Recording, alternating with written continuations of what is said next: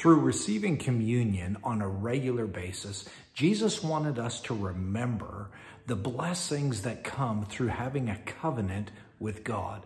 All the promises of God are yes and amen in Jesus. He who did not spare his only son, but delivered him up for us all, how shall he, through him, give us all things?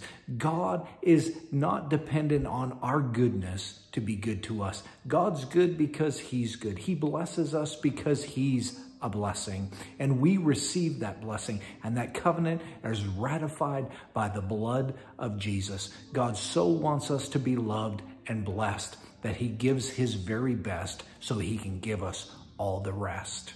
We'd love to hear from you. Please email us info at newandlivingway.ca.